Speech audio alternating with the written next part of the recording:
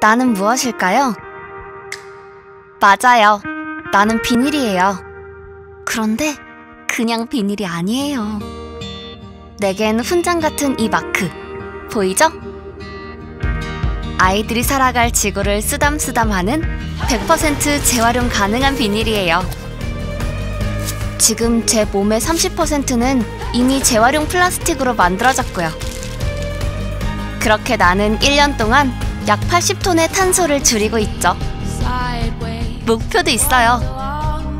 2030년까지 95% 이상의 제품을 지속 가능한 소재로 바꾸는 것.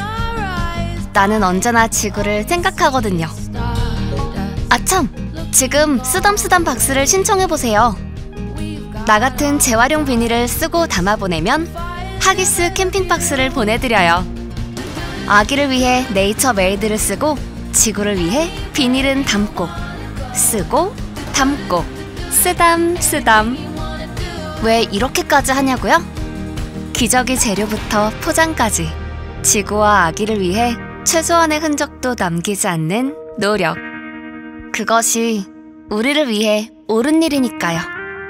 지구의 옳은 그림. 하기스 네이처메이드